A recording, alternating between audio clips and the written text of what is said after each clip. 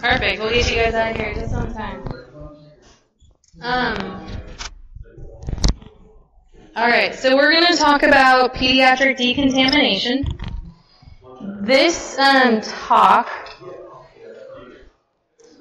like the other one, um, I did not, I did not do this PowerPoint. This is not my my um, personal work, but again, Dr. Romig is very good about sharing her information, and she just released this PowerPoint. When I was asked to come out here, um, they asked me to maybe do some hazmat stuff, which um, honestly, there's not a lot of research in hazmat in treating kids. It's not published. It's not really been a recent concern up until um, probably the last five years or so.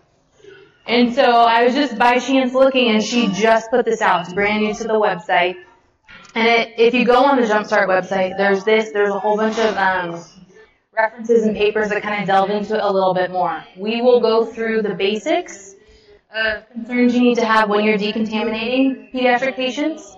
I will tell you, I'm not a hazmat specialist. That is not my specialty. Peds are. So I can speak to the pediatric component to this.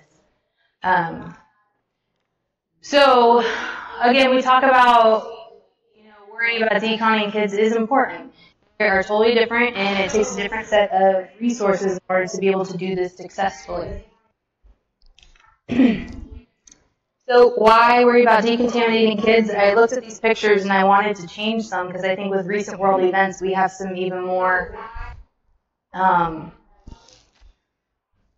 real world experiences. We talk about all those kids out in Syria who are being doused with neurotoxic agents and what does that mean and what does that happen if it happens here Yeah, it was awful, right? We, I know we probably all saw a video of it. So um, these are just pictures of first responders taking care of pediatric patients. And just a reminder that hazmat issues with kids don't have to be something as serious as a neurotoxic agent. Not too long ago, I wasn't here yet, but I was out in out at the zoo at the aquarium. There's a whole bunch of kids who got um, exposed to chlorine or some sort of chemical that was on their t-shirts or something like that. And there was 40 yeah, and there was a whole bunch of kids who were having these symptoms from an otherwise benign um, chemical reaction. But, you know, not this one that I'm talking about. This was just an, like almost a reaction to there was a chemical in these shirts that they were wearing. So, um, and right before I left San Diego, there was a quote unquote chlorine gas leak at a school, and we had 40 right off the bat. Now, as they did more research, they found out that it was a type of chlorine that had zero health effects. It was there's multiple different types, so um, everyone ended up being agreeing. But for that brief moment, until we had all the information, we were ready for some really sick kids. And how are we going to decontaminate all of them at once? So one of the things that's available to you on this website, and I urge you to go look at it because I think this is very real world for us, especially in our community. This is removal of children from um, methamphetamine cookhouses. And how do you take care of them and what's the most appropriate way to decontaminate them? And what it goes through is basically, um, obviously the closer you are to the cook station, the more chemicals you're going to have on your body. You cannot clean this out of fabric, so you need to get the kids out of their clothes and just simply giving them a bath um, or getting them showered off usually it's enough of the chemicals off of them for the time being. But um, it's, I think, about a six-page paper and some really good information in there. So I urge you to to check it out and, and take a peek at it. Um, so why our kids are at higher risk? First of all, when you talk about terrorist attacks, going after our kids is probably the most terrorizing thing that um, someone could do to make them a target. Um, when you talk about non-terrorist attacks, kids don't recognize danger. So if they come upon a chemical spill out, I don't know, in the woods, it's just kind of sitting there and they discover it. They're inquisitive. they get into things. Uh, they can't self-rescue, so if there is a dirty bomb, they can't remove themselves from the situation all the time, so they may just be sitting there continuing to be exposed. Um, they may not report the exposure if it's, you know, an isolated event. Kids are, again, out playing in the woods, they stumble upon some chemicals. They may not tell you for fear of getting in trouble. Um, also, kids constantly putting things in their mouth and nose. Now, once they've actually already been, those are risk factors that um, make them more at risk for being exposed to something. Once they're already exposed, these are the things we need to consider. Number one, they're close to the ground. So if you're talking about some of those gases here, so where we're standing up here is a little bit more diluted. We're not as high risk. Kids have thinner, more permeable skin, which allows for an increased absorption rate, in addition to having a higher body surface area per weight ratio. So per their pound of body weight or kilos of body weight, they're going to absorb more chemicals than we will.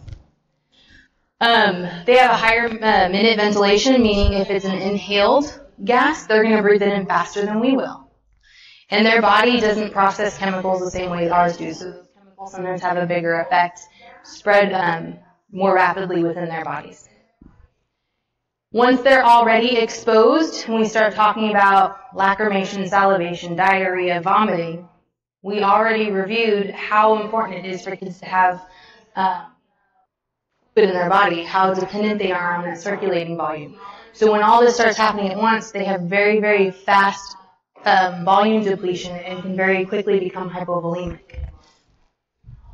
Um, their undeveloped immune system affects the way some of these, depending on the toxin, the way it works in their body and how fast it's going to attack their system.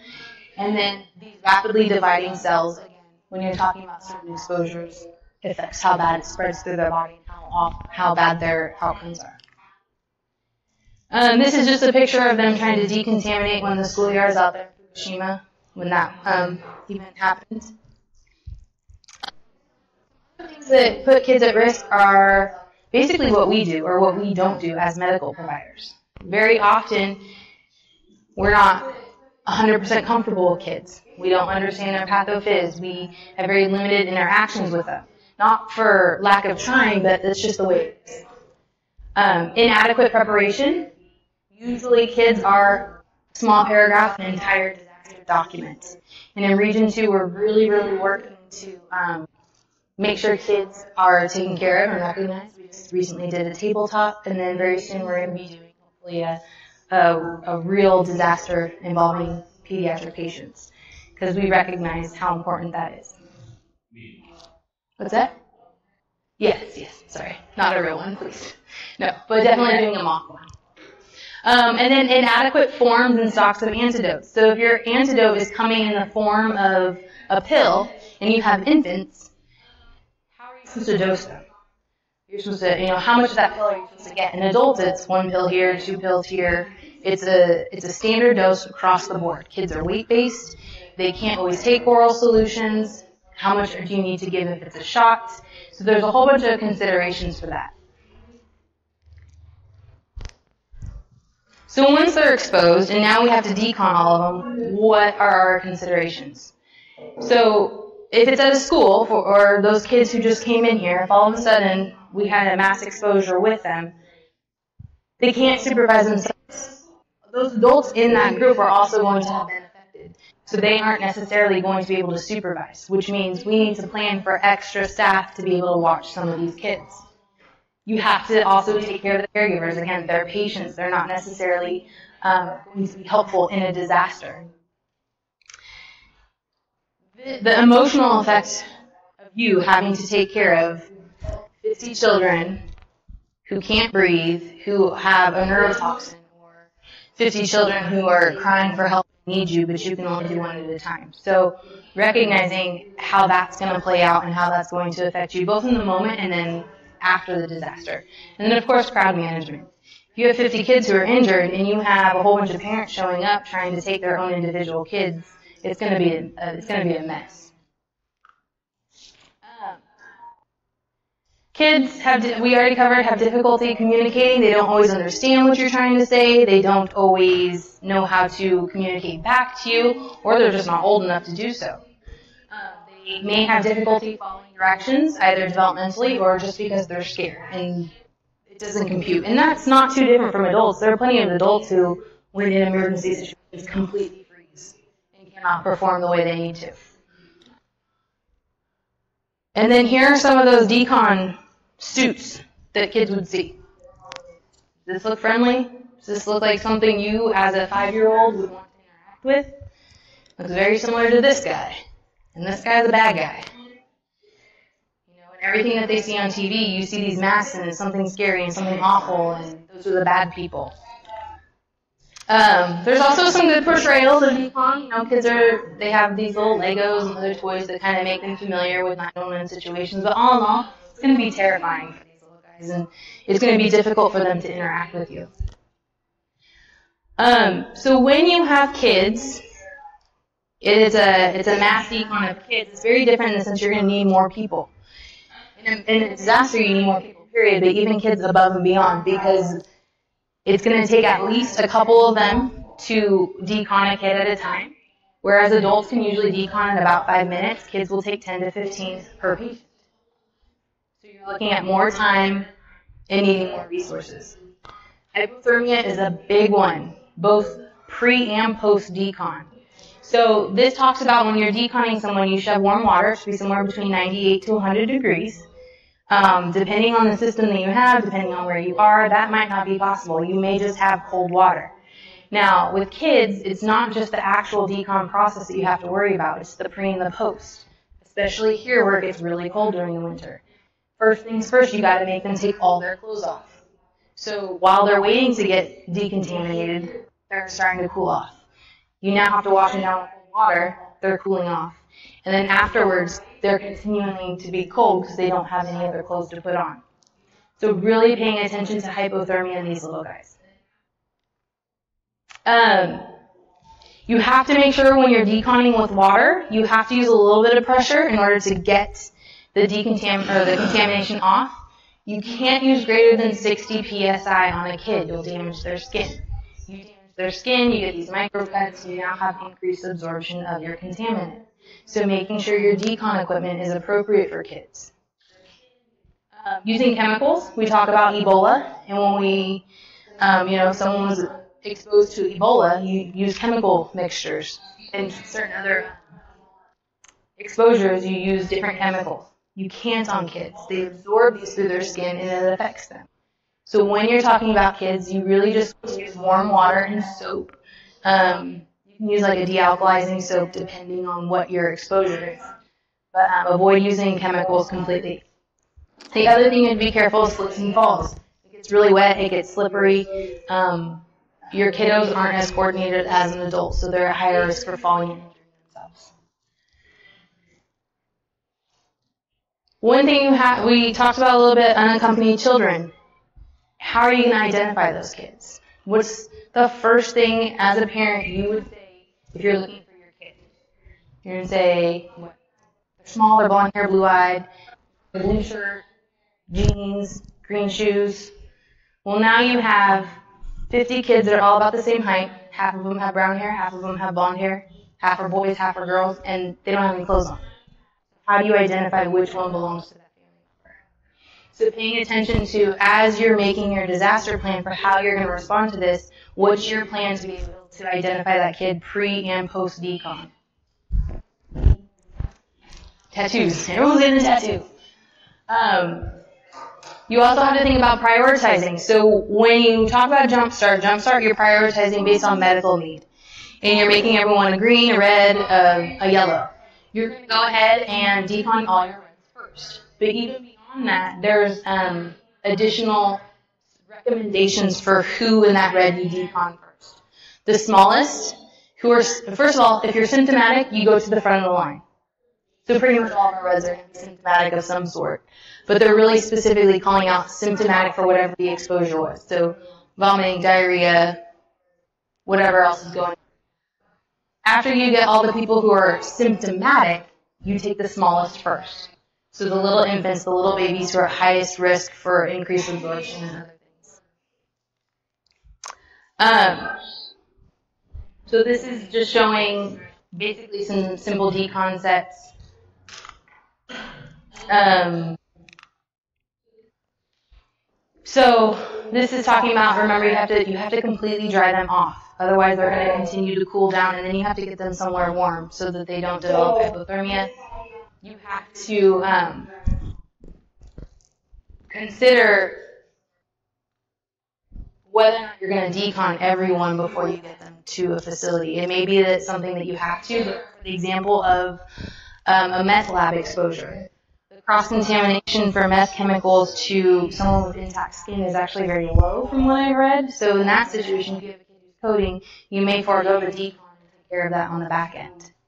So really looking at do we absolutely have to decon every single one of these or can we decon them when we get to the hospital? Uh, making sure that you have protocols that allow for pediatric decon and then you're practicing those. Um, these are some of the things that we have at the hospital because we have them for storage, but the idea that you have this slide board, anyone who's non-ambulatory should be on a slide board or some other restraining device. Um, because when you're wearing these suits, you're slippery. If you're wearing holding a baby and you trip and fall, you got now trauma on top of your contamination. So anyone who's non-ambulatory needs to be secured to a, a device before they're decontaminated. Um, it goes without saying you should never assume there won't be any pediatric patients. Even if it's an adult mass casualty, there will probably be some pediatric patients in there. Um, train and retrain and make sure you always consider kids and families. If this is a family event, it's a football game and there's families who are all contaminated together, as much as you can, you keep that family unit together. With that said, you never want to assume that your mom, your dad, your caregiver is going to be able to sufficiently decontaminate that kid when it's their turn to get into the bath. You still need to help them and still need to um, give them resources. So um, first things first, you want to make sure to protect your facility. For you guys, you want to make sure you're protecting your trucks so you don't have to pull any of them out of service before um, before you're done triaging everybody. Um, and this is for the hospital, but they just train us to remember that not everyone's going to come already decontaminated, so we can't count on you guys 100%. I think only 30% of patients who are in a hazmat situation come by EMS. The rest, the other 70% come by private vehicle. So we're, we're kind of filtering that side traffic from both ends. Children are portable, so families usually will scoop and go. That kid might be deathly ill, but that family, in hopes to get to the hospital before you can, will scoop them into a car and then come to us. Um, closest hospital is obviously at risk because um, the, everyone's going to go to the closest facility. And then you can't assume that a person knows whether or not they've been decontaminated or contaminated. So when you're rolling up on an event, every single person you come into contact with, until you can prove otherwise, is contaminated needs to be treated as such. And then vice versa. You'll sometimes have people, and this is more at the hospital side, you'll have people who say, I live 50 miles out, I'm really concerned that I got exposed. And they'll show up to the hospital and give you an extra patient to take care of, when really they're okay. Um, so when you arrive, you want to make sure to ID and try and separate as much as you can contaminated versus uncontaminated. Keep those family members together no matter what, unless someone needs life-saving intervention. If mom's coding, you're not going to keep the child with her. That just doesn't make doesn't make sense. But as much as you can, keep family units together. If they don't have family units, you have to make sure all your unaccompanied minors are being supervised by somebody somebody, anybody, it doesn't matter, and you don't let a kid go home with anyone unless they can prove they're their caregiver. Um, so you're gonna triage and re-triage your red, green, yellow. Um, life-saving interventions first, and then your most critical patients will get decons after them, kids to the front of the line. Before you jump in the shower, you're gonna remove all their clothes. Um, 90% of contaminants are removed with clothing which means you only have about 10% left to remove. Um, toys, backpacks, jewelry, anything and everything needs to come off. Now, if it's if it can be washed, for example, like uh, glasses, those can go into the decon shower with them and get cleaned off. Anything closed, anything porous stays behind. It gets put into a bag or whatever your system is. It needs to stay. Um, now that gets a little bit interesting when we talk about our ventilator-dependent patients, our wheelchair-dependent patients all their equipment is now contaminated. So what do you do for that ventilator kid? You're going to need to decon them, and now you need someone to bag them the entire route to the hospital or get onto your your service vent. Can't take that contaminated equipment with you. So those kind of considerations. Um, and then again, identify people before they get in the shower. It's a little bit difficult with kids, right? Because adults kind of understand I need to clothes off of these strangers, modesty is out the window. Working kids. So Um, ideally, we have something fancy like this. They can take their clothes off and put this plastic on. That's not always going to be possible. So, um, so they do say they encourage taking digital photos of the minors that and having that be the way to keep track of them. Again, that's not always realistic. So figuring out what is going to be realistic if it happens here in your community. When you're doing decontamination, they separate out the kids by age. So you have 0 to 2, 2 to 8, and 8 to 18. And those are the age categories that they talk about them in. Less than 8, you can pretty much group those kids together, get them to all, this is really awkward to talk about, but get them all to take their clothes off as one big group and get them into the decon and get them kind of going all at once. Once they're over the age of 18, it's recommended that you do it by gender. So boys go first, then girls, um, or vice versa, and that you have specific personnel with them. So you have girls, you need your, your female medics to go in there. Now, look around this room. How many girls per male? That might not always match up with your patients. So something to consider, but you also need to consider what's in the best interest of the patient and make it happen. Those are just recommendations um, coming out of this group. So again, never assume that a caregiver is going to be able to decontaminate appropriately in infants. Uh, they're at the highest risk for hypothermia, so you really got to make sure that they're dry. Try and get them warm water.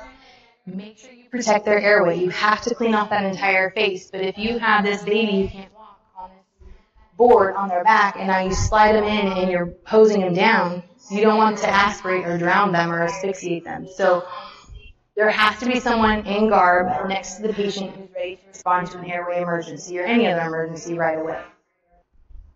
Um, and then making sure you always have a hand on the baby because they're slippery, they fall, and again, you don't want a trauma issue in addition to your contamination.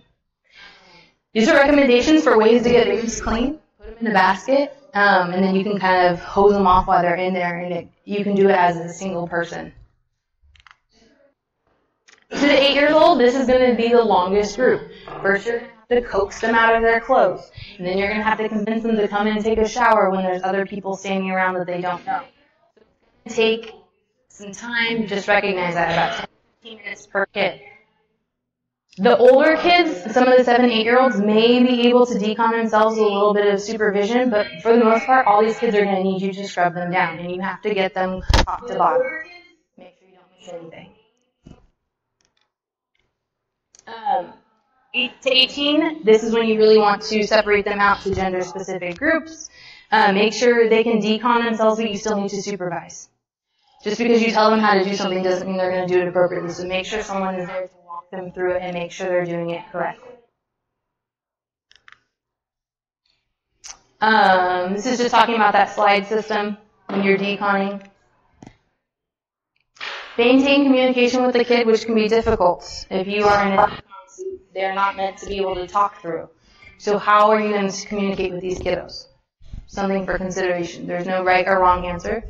There's recommendations on, you know, child-friendly signs.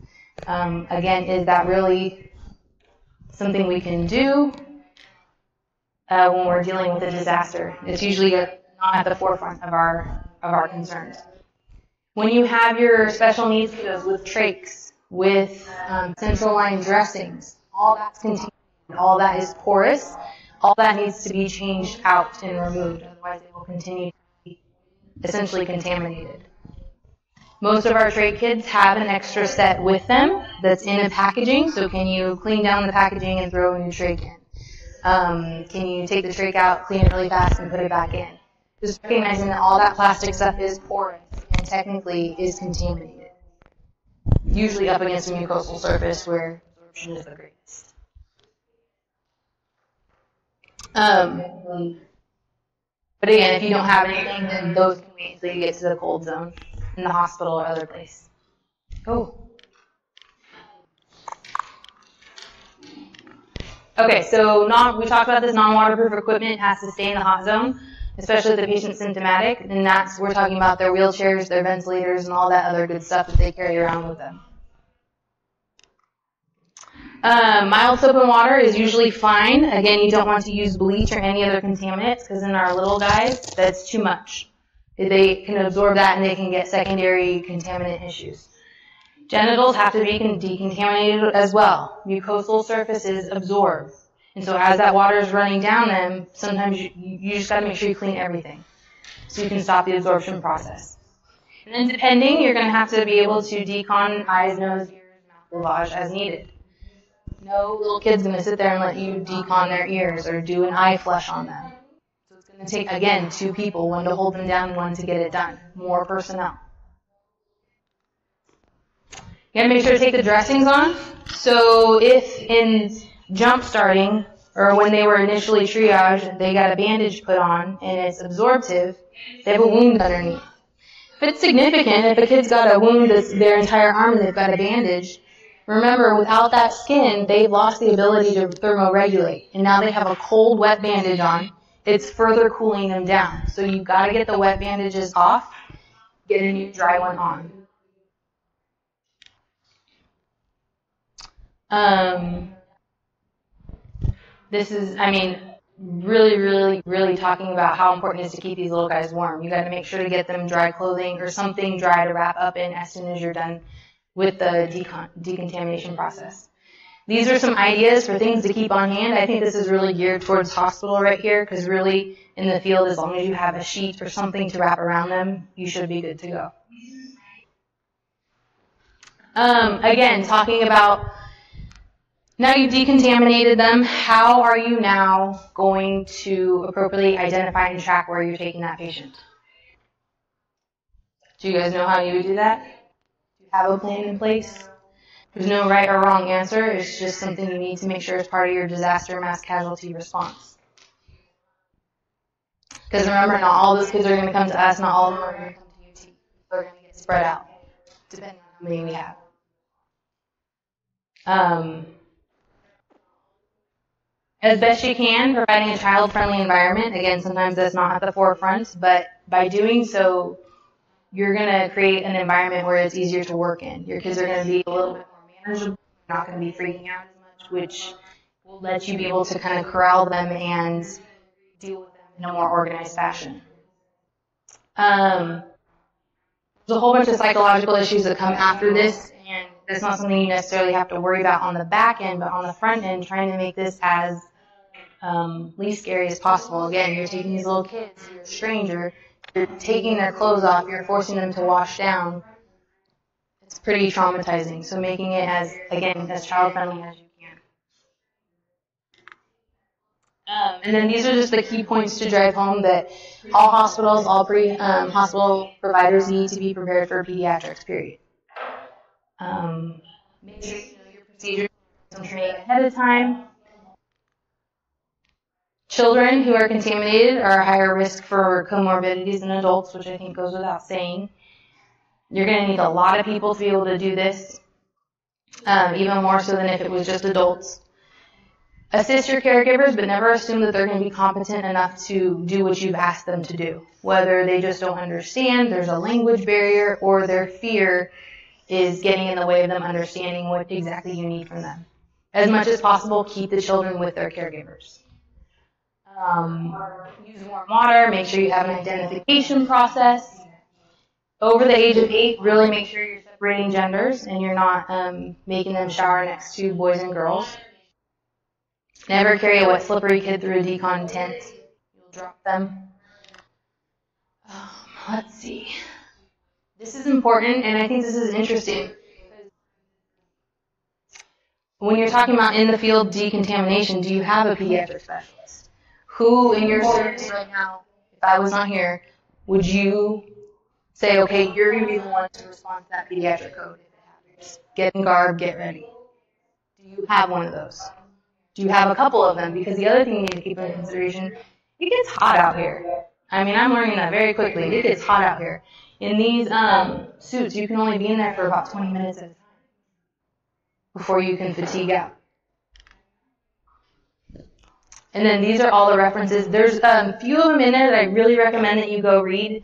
This being the one for the drug endangered children. That's a really great one. Um, and then these two right here. Again, you can get this off the Jumpstart website. It's a great um, resource to kind of start looking at what are you going to do if this happens in your backyard. And how are you going to take care of all these kids? So, any questions?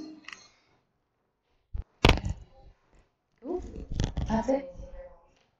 Any pediatric questions outside of what we talked about? Anything that's just like I got, I got to know the answer to this. All right. Yeah, you guys are welcome.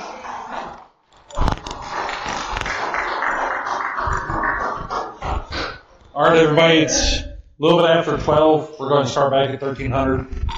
The hospital has burgers and hot dogs for free. Want to go up there? Oh, they canceled that? Oh, never mind that. I don't have burgers and dogs. We need to test for the test. If I don't have a test from you and I don't have the evaluation forms, I can't give you that. So, we'll do this really. Number one, uh, pediatrics cardiac arrest are usually respiratory in nature. True or false? False. False. Respiratory.